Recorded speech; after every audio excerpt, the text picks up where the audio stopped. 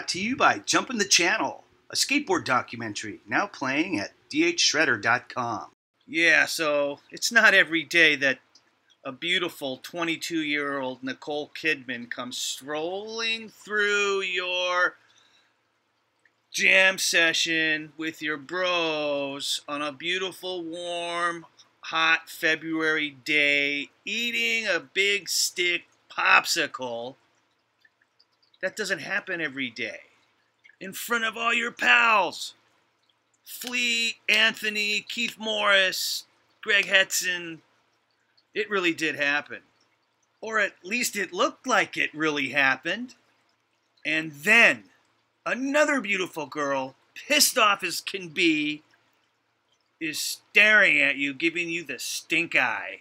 Because you were zooming in on the beautiful 22 year old Nicole Kidman while she was eating, oh, for crying out loud, her big stick popsicle!